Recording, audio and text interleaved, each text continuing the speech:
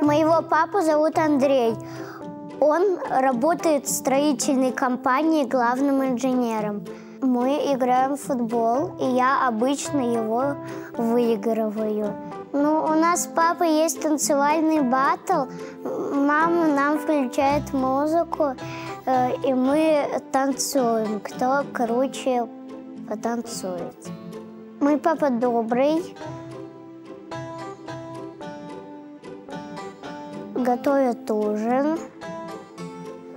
Он готовит мне э, яичницу на завтрак на выходных.